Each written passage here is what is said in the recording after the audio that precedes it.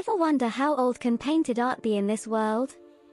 And who are the oldest people to have painted something worthy of being called art? The answer lies in an era called Paleolithic period, also called the Old Stone Age. About 32,000 years ago, ancient artists drew lifelike beasts that seemed to gallop, crawl, and frolic through the cave's chambers. These paintings are from the Chauvet Cave, located in the Pont d'Arc Valley of Ardèche, France. The Chauvet Cave was discovered by three local explorers in December 1994 in southern France. The cave paintings adorning the walls of Chauvet Cave in France are among the oldest and most beautiful figurative art in human history.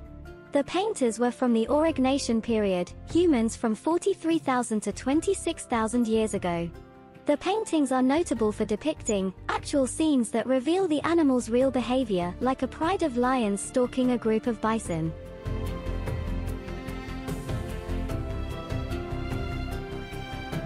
And like two woolly rhinoceroses butting horns. The cave extends horizontally for nearly 500 meters into the earth and was formed by an underground river. Over 420 paintings have been documented in the cave, including animals and abstract dot paintings. The paintings are primarily red and black in color, created with red ochre and manganese-based charcoal. Common paintings are of cave lions, mammoths, and rhinos. The purpose behind the Chauvet cave paintings is a mystery.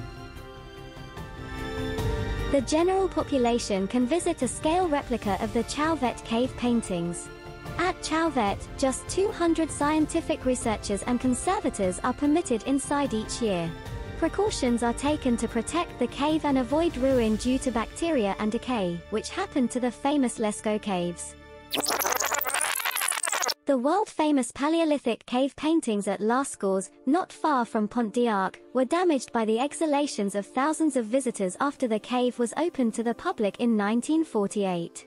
So, immediately after Chauvet Cave was discovered, scientists moved to protect the fragile paintings and closed it to the public. Now, only scholars are allowed in during brief windows of time.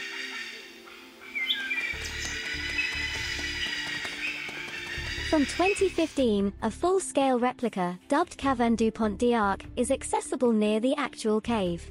3D scans were used to create a digital map of the cave. Engineers and artists have faithfully recreated not just the dazzling paintings, but also the temperature, dampness, murk, and funky smell of the original. Thus, preserving the vibrance and beauty of the original score, as they had been when our distant ancestors first painted them on Chauvet's limestone walls.